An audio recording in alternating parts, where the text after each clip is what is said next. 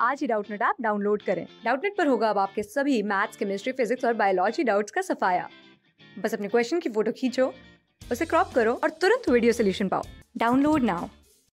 So, question is derive the expression for drift velocity of free electron. तो first question की अगर हम बात करें तो फ़र्स्ट हम पहले किसी डायग्राम को कंसिडर करते हैं।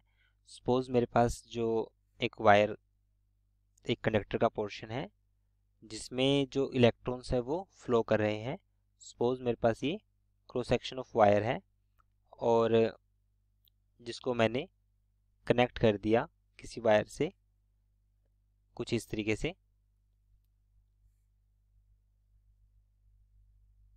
सबसे पहले हम इसका डायग्राम बना लेते हैं अच्छे तरीके से। ये हमारे पास कोई वायर का कोई छोटा सा टुकड़ा है। तो जैसे ही मैंने इस पर वोल्टेज या पोटेंशियल अप्लाई किया whenever we apply a potential difference applied across a conductor an electric field is produce तो इस केस में हमारे पास एक इलेक्ट्रिक फ़ील्ड प्रोड्यूस होगी और उसमें करंट भी प्रोड्यूस होगा, जिसको मैं नाम दे दिया सपोज़ आई सो अब due to this electron will experience a force तो उसकी वजह से जो फ्री इलेक्ट्रॉन होगा, उसके ऊपर जो फोर्स एक्ट करेगा, जिसको हम नाम देंगे F is equal to Q E Q हमारे पास इलेक्ट्रॉन चार्ज एंड ई हमारे पास क्या है? Due to electric field so अब due to this electron accelerate and keep colliding with each other so इसकी वजह से जो इलेक्ट्रॉन्स होंगे वो due to this potential difference जो इलेक्ट्रॉन होंगे वो एक्सलरेट होंगे electron will accelerate and collide with each other एक दूसरे से क्या करेंगे कोलाइड करेंगे कोलाइड करने की वजह से colliding with each other with each other and acquire a constant velocity. And acquire a constant velocity acquire constant velocity जो velocity होगी वो हमारे पास क्या होगी drift velocity वो हमारे पास क्या होगी drift velocity suppose potential difference is v apply to the conductor and electric field is e now according to theory तो हमारे पास जो फोर्स होगा फोर्स क्या होगा F is equal to minus E into E where E is electronic charge E is electric field now we also know according to Newton second law so Newton second law के according हमारे पास क्या होता है? कि किसी भी body के ऊपर जो फोर्स होता है, वो होता है M mass into acceleration so this equation is first and this equation is second from first and second we will get mass into acceleration is equal to minus E E M तो हमारे पास यहाँ से acceleration की value क्या आएगी? Is equal to minus E E divide upon में M so this is value of acceleration now using kinematic equation so kinematic equation हमारे पास क्या होती है v is equal to U plus A T initially electrons are rest whenever ever voltage is not applied so u is equal to 0 and at t is equal to at t is equal to tau tau हमारे पास क्या है relaxation time tau is relaxation time relaxation time may be defined as the success the time taken by between two successive collision is known as relaxation time so, हमारे पास यहाँ से v की value क्या होगी? U ज़ीरो हुआ और यहाँ से आएगा a इंटू में टाउ a इंटू में टाउ सो a की वैल्यू हमारे पास from equation third put third equation in this equation so हमारे पास आएगी drift velocity is equal to a हमारे पास क्या है? Minus E E divide upon में m इंटू में tau so this is equation of drift velocity तो ये हमारे पास है ड्रिफ्ट वेलोसिटी एक्सप्रेशन अब सेकंड क्वेश्चन उसने पूछा है how many drift velocity means how drift velocity of electron in a metallic conductor vary with increase in temperature so अब हमें पता है रिलेशन बिटवीन करंट अब हम सेकंड पार्ट को करते हैं। अब हमें पता है कि जो रिलेशन होता है किसी करंट के बीच में और ड्रिफ्ट वेलोसिटी के बीच में relation between current and drift velocity वो हमारे पास क्या होता है? I is equal to N E A V d where N is number density of electron e हमारे पास इलेक्ट्रॉन ए हमारे पास है area and t is drift velocity.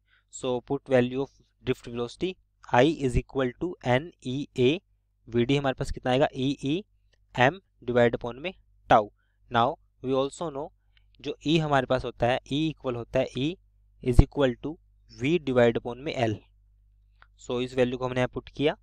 I divide I is equal to N E square A E e हमारे पास कितना है? V M L into में टाउ नाउ v को हम इसके y में ले गए। तो हमारे पास इक्वेशन बनेगी आई डिवाइड अपॉन में V is equal to N E square A tau divide upon में M L now we know V divide upon i is equal to R according to Ohm's law so Ohm's law के according V upon I हमारे पास are है। सो आई upon v क्या होगा? I upon V means one upon R होगा। क्योंकि ये भी इन्वर्स है। So one upon r is equal to N E square A tau divide upon में M L now we also know जो रेजिस्टेंस होता होता है रो एल डिवाइड अपॉन में A rho L divide upon में A now put this equation put this resistance value in this equation. So, we will get a divided upon में rho l is equal to n e square a tau upon में m l. So, l से l cancel हुआ और a से a cancel हुआ। तो हमारे पास one upon rho means resistivity होती है कंडक्टिविटी तो हमने इसको उल्टा कर दिया। तो यहाँ पे हमारे पास क्या बचेगा? एम डिवाइड अपॉन में N E square tau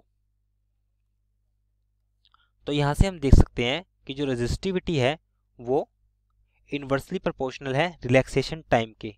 so resistivity is inversely proportional to relaxation time relaxation time हमारे पास क्या होता है? Successive time taken between two successive collision और जो रेजिस्टिविटी है वो ऑल्सो इन्वर्सली प्रोपोर्शनल है number density means number of electrons density तो जैसे ही अगर हम जो रिलैक्सेशन टाइम होता है, वो टेम्परेचर पर डिपेंड करता है। तो जैसे अगर हम टेम्परेचर को बढ़ाएँगे तो इलेक्ट्रॉन ज़्यादा से जल्दी मूव करेंगे। उसकी वजह से दो इलेक्ट्रॉन्स के बीच का जो सक्सेसिव कोलिजन होगा, उनके बीच में जो टाइम होगा, वो हमारे पास डिक्रीज होगा। जैसे ही अगर हम टेम्परेचर को इंक्रीज करेंगे। सो so, कहने का मतलब ये है कि जो रिलैक्सेशन टाइम होता है वो इन्वर्सली प्रोपोर्शनल होता है टेम्परेचर के। अगर हम टेम्परेचर को इंक्रीज करेंगे जो इलेक्ट्रॉन्स की जो मूवमेंट है या मोशन है वो फास्ट होगा। इलेक्ट्रॉन का जो मोशन है वो फास्ट होगा। और जो टाइम होगा between two collision that is relaxation time time between two collision will be will decrease will decrease तो टाइम इंक्रीज किया तो रिलैक्सेशन टाइम हमारे पास डिक्रीज हुआ। इट मीन्स हमारे पास जो रेजिस्टिविटी है, वो डायरेक्टली प्रोपोर्शनल टू टेम्परेचर है। क्योंकि हम अगर हम टेम्परेचर बढ़ाएँगे तो रिलैक्सेशन टाइम हमारे पास डिक्रीज होगा और रेजिस्टिविटी होगी, वो हमारे पास इंक्रीज होगी। तो सेकंड क्वेश्चन में उसने हमसे क्या पूछा था कि how many drift velocity this is only how drift velocity of electron in a metallic conductor vary with increase in temperature so जो ड्रिफ्ट velocity increase होती है, अगर हम किसी कंडक्टर का टेम्परेचर इंक्रीज करें तो। क्लास सिक्स ट्वेल्थ से लेके NEET I I T JEE mains और एडवांस के लेवल तक। दस मिलियन से ज़्यादा स्टूडेंट्स का भरोसा। आज डाउनलोड करें डाउट नेट या व्हाट्सअप कीजिए अपने डाउट्स आठ चार सौ चार सौ चार सौ पर।